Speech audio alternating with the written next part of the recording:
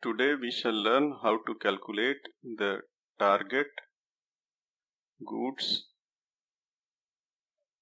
outage for a diesel locomotive shed.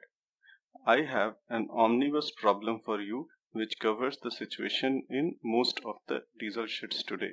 This is a somewhat complex example but I hope this will help you cover all the concepts easily. So let us go through the problem. On 1 11 2016, a diesel shed has 140 locomotives which comprise of 40 WDM3A, 40 WDG4, 30 WDG3A, 20 WDP4, 6 WDS6R and 4 WDS4B locomotives. One WDP4 locomotive is awaiting repairs for a long time and one WDG3A loco was seriously damaged in a law and order incident and so these two locomotives have been accepted for temporary deletion. Find out the target goods outage for the shed for the month of November 2016 if the shed has a mail express passenger link of 33 locomotives and 20 WDP4s. Let us have one column for ALCO locomotives and one column for HHP locomotives followed by a column for the total.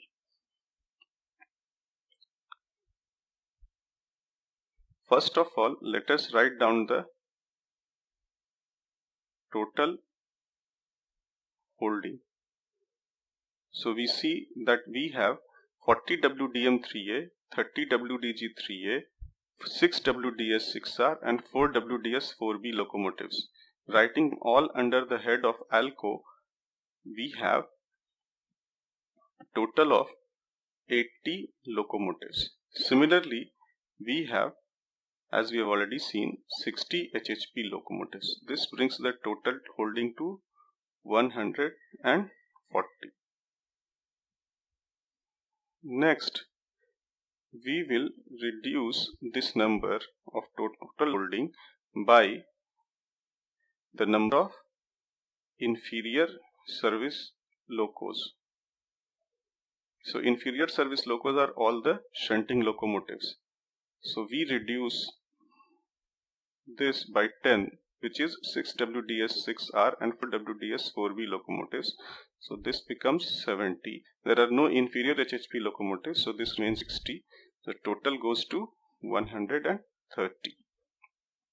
In the next step,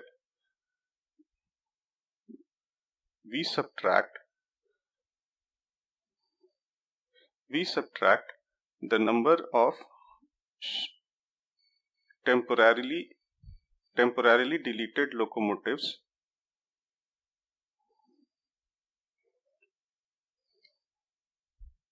from this figure. So we have one temporarily deleted loco. So this makes the number of ALCOs to 69 and the number of HHP locos to 59 as there is one HHP temporarily deleted loco. So the total number of locos now becomes 128. This is an important figure and it is known as effective holding.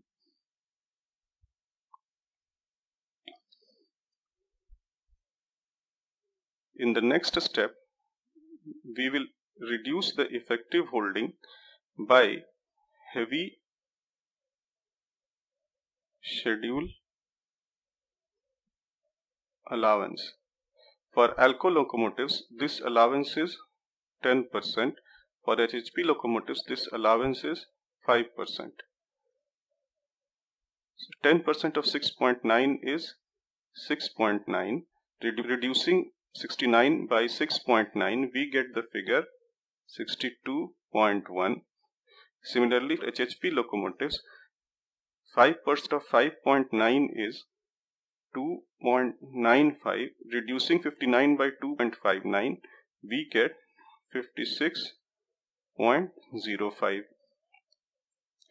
sum of 62.1 and 56.05 is 118. 1 5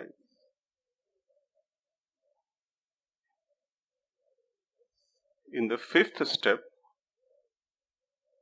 we will now subtract the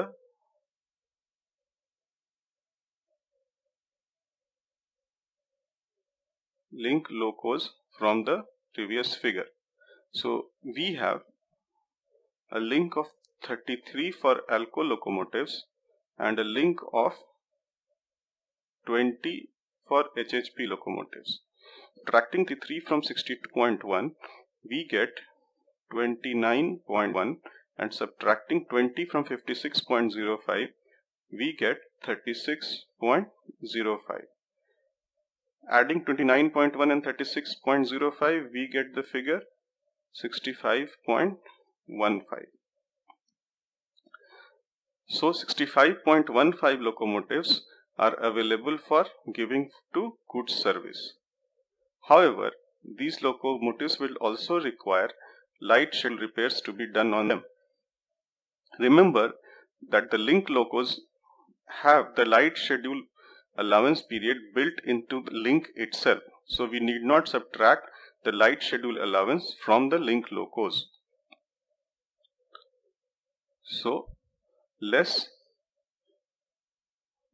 light schedule allowance and light schedule allowance is 10% for ALCO locomotives. 10% of 29.1 is 2.91 subtracting 2.91 from 29.1 we get 26.19 the light schedule allowance for HHP locomotives is again 5%. 5% of 36.05 is approximately 1.8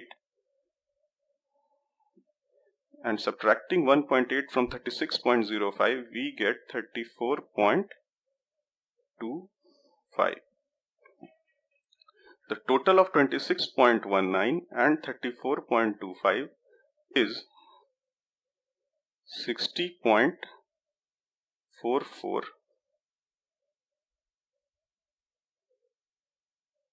this is the all important figure and this is the target goods outage so target goods outage for that particular shed in the month of November 2016 is 60.44